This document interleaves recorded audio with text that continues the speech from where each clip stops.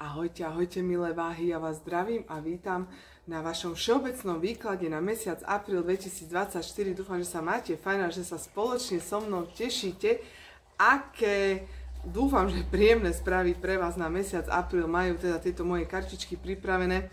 Zatiaľ sme to tu mali pre ostatné znamenia aj, aj, aj dobré, aj horšie, aj kadejaké. Je to taký mix, je to také 50 na 50, tak dúfam, že vy, milé váhy, to budete mať mesiaci. Apríl, príjemné, pozrite sa, takto mi vyskočila krásna karta lásky, takže hmm, možno to bude veľmi príjemné čítanie.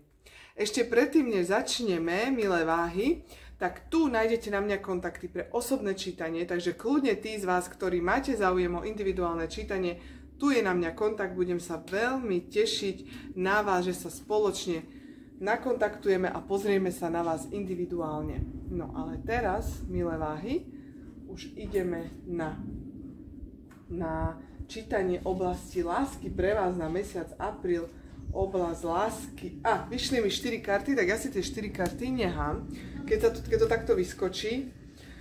Fú, no, á, ale pekné, pekné milé váhy, pekné milé, milé váhy príjemné karty. Keby tam naozaj nebola táto smutná žena, tak nádhero, nádherne osudom daná, krásna, stabilná situácia vo vašom vzťahu. Neviem, prečo sa mi tam trošilinku ten smutok ukazuje, ale milé váhy, ak ste v dlhotrvajúcom, stabilnom, stálom vzťahu, ktorý už si žiada možno trošilinku sa posunúť niekam ďalej, tak naozaj osudom daná stabilná situácia, nové, nové niečo, môže to byť kľudne svadba, požiadanie o ruku a tak ďalej, ale hlavne aj príchod dieťatka, môže tam byť naozaj tehotenstvo, milé váhy, je to veľmi, veľmi príjemné, ale je tu ten smutok, ten smutok, smutok z čoho?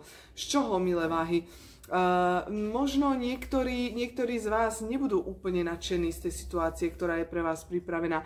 Možno niektorí, pre niektorí z vás práve tá stabilita toho vzťahu a možno aj niekde až nuda není úplne to, čo vám vyhovuje. A práve keď tu prichádza ešte aj nejaká žiadosť o ruku alebo tehotenstvo, tak možno niektorí z vás sa trošilinku zlaknete tej situácie, že fú, tak teda už takto budem žiť navždy, toto už je to, čo teraz budem najbližších 20 rokov riešiť, pretože som tehotná, alebo teda partnerka je tehotná, ak ste muž váha a a tak ďalej, áno. Takže môže kľudne nastať aj ta, takéto nejaké trošilinku myšlienky, ale, ale dôverujte, verte, je to osudom daná situácia. Táto situácia je vám daná. Uh, jednoducho máte si týmto prejsť a máte sa z toho určite tešiť. Určite to nebrať ako niečo, čo úplne ste neočakávali a neviete si to úplne predstaviť. Takže z, e, dať preč ten smutok a tešiť sa na to nové, čo vám prichádza.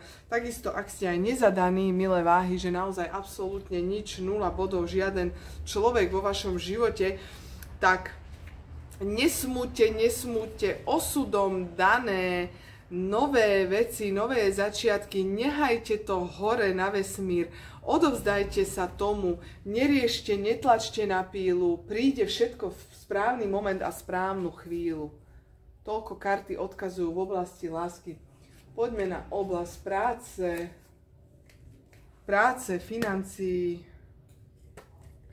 Uh, hoa, vy máte veľmi dobré karty, milé váhy. No naozaj veľmi pekný, príjemný apríl. Pozrite sa, nová nádej, cesta, nové začiatky, peniaze, krásne, super, nové pracovné ponuky, nové pracovné príležitosti, e, nové pracovné projekty, noví ľudia prichádzajú do vášho podnikania, ak podnikáte, noví klienti, e, dokonca môže byť pracovná cesta, alebo odchádzate za prácou do zahraničia, dostávate novú pracovnú ponuku, ak ste nezamestnaní. Naozaj samé dobré správy, pozrite sa, peniaze, nádej, cesta, nemám čo vytknúť, čokoľvek nové prichádza v oblasti kariéry, veľmi príjemné, pozitívne karty, milí, uh, milé váhy, naozaj aj láska, aj kariéra, máte sa na čo tešiť, ani viac k tomu nejdem čo hovoriť, určite ma chápete, veľmi príjemné karty, sami ich vidíte a nedávať si do hlavy žiadnu negatívnu myšlienku, všetko je aj, niekedy človek má pocit, že keď je veľmi dobre, takže Ježiš Maria, čo teraz príde, keď je veľmi dobre? Tešte sa z toho, že je veľmi dobre a povedzte si, že ja si to zaslúžim. Dobre?